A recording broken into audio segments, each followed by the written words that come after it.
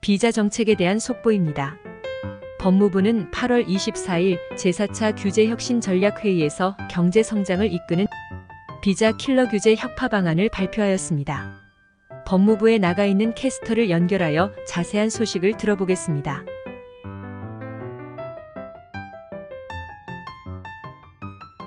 안녕하세요. 박 기자입니다. 법무부는 제4차 규제혁신 전략회의에서 27포 숙련 인력, D2 비자 유학생, 첨단 분야 우수 인재에 대한 비자 킬러 규제, 혁파 방안을 발표하였습니다. 첫 번째, 외국인 숙련 기능 인력 27포 비자 혁신적 확대 연간 3만 5천 명. 잠깐 여기서 보충 설명을 하겠습니다. 27포 비자란 숙련 기능 인력 비자라고 합니다. 현재 E9인 비전문 취업, 고용허가제에서 4년 이상 근무한 경우 일정 조건을 갖추면 27포 비자로 변경해주고 있습니다. 인하인 비자는 9년 8개월 일하면 본국으로 돌아가야 하는데 27포 비자는 한국에서 계속 일할 수 있고 가족 초청도 가능합니다. 그래서 인하인 비자와 27포 비자는 하늘과 땅만큼이나 큰 차이가 있습니다.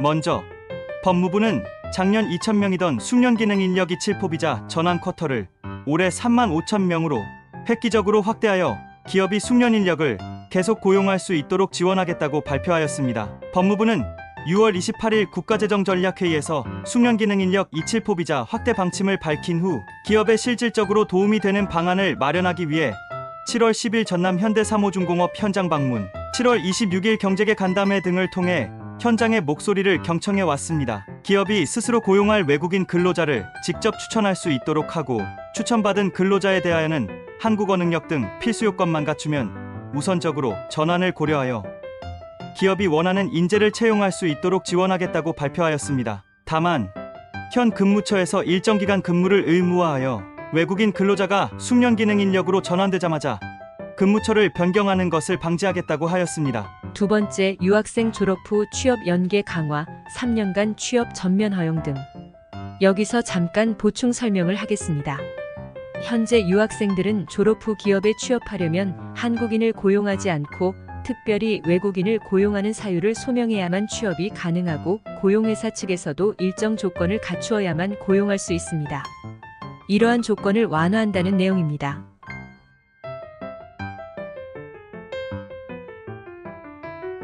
법무부는 유학생에 대한 취업 규제를 개선하여 기업의 인력난 해소에 기여하겠다고 발표하였습니다. 첫째, 유학생에게 졸업 후 취업을 3년간 전면 허용하겠다고 합니다. 우리나라의 학위 과정 유학생 수는 2010년 7만 명에서 2022년 14만 명으로 12년 만에 2배 증가하였으나 2022년 유학생 취업률은 16%에 불과합니다. 지금까지는 유학생에 대해 졸업 후 사무 전문직에만 취업을 허용하여 많은 유학생이 국내에서 취업을 하지 못할 경우 제3국이나 본국으로 돌아갈 수밖에 없었습니다. 이에 법무부는 유학생 졸업 후 외국인이 취업 가능한 분야에서의 취업을 3년간 전면 허용하고 숙련 기능 인력, 이치포비자로의 전환 등 유학생의 취업 기회를 확대하여 기업의 인력난 해소에 기여하겠다고 발표하였습니다. 둘째, 유학생이 졸업 후 조선업체에서 채용을 조건으로 일정 기간 현장 교육을 받은 경우 전문 인력 E73 비자 자격으로의 변경을 허용하겠다고 발표하였습니다. 셋째,